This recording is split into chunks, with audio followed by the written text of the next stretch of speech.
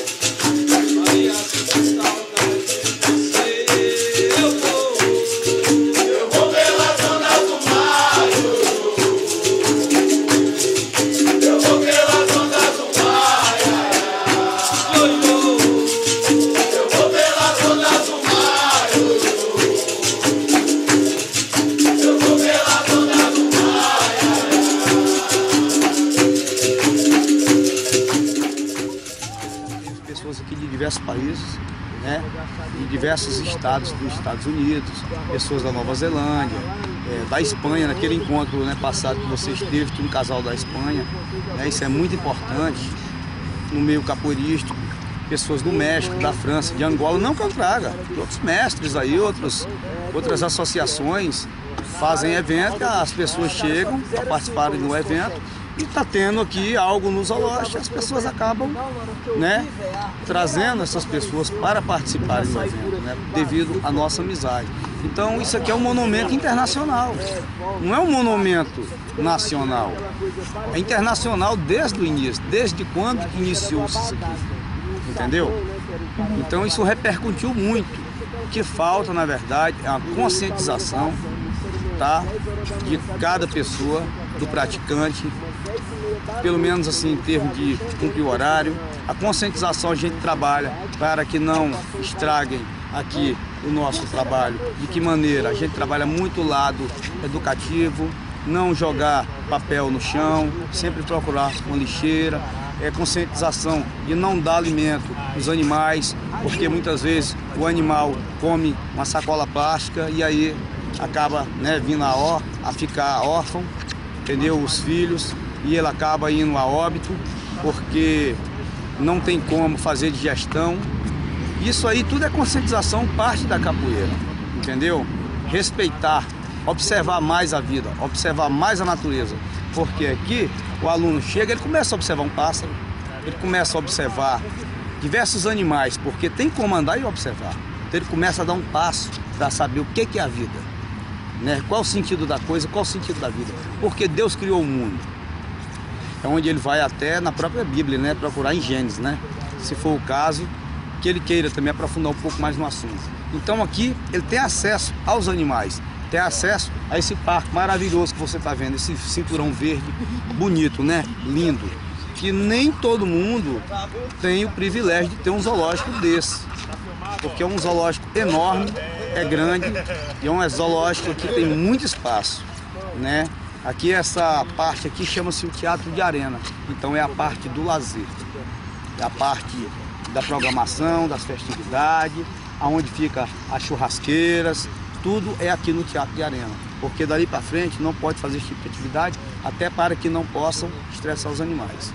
Então é isso que eu deixo para o pessoal, conscientização, amor, né, no coração acima de tudo, porque sem amor é impossível construir alguma coisa salvar a nossa nação brasileira.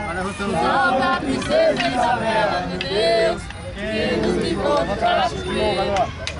Vamos todos salvar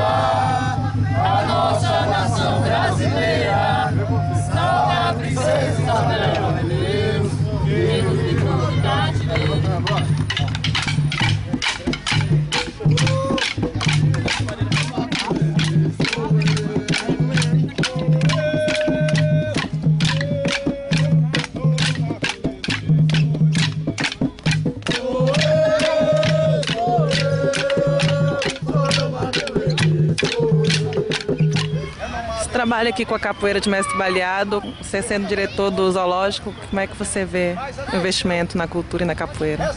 Então, a capoeira é uma das nossas expressões culturais mais importantes no Brasil, difundida e já é, já é difundida mundialmente. E para a gente é um orgulho muito grande ter esse espaço, poder ter esse espaço, ter o prazer de ter todo esse povo aqui expressando cultura, né, expressando carinho pela nossa instituição e usufruindo no espaço que é um espaço democrático.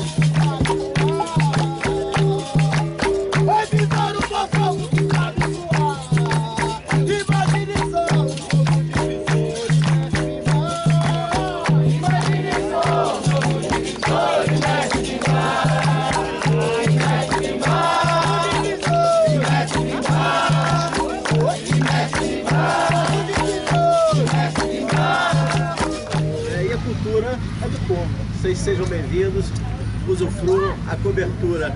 Eu não prometo agora, mas a gente vai fazer um projeto bacana para a gente fazer a composição dentro do nosso centro cultural, que vai ser tudo isso aqui. Aqui nós vamos ter o museu, o teatro, a biblioteca, vamos melhorar o teatro de arena, que de repente até pode ser um outro espaço utilizado por vocês também. Aí a casa é do povo, a casa é de vocês. Tá? Obrigado por vocês aí.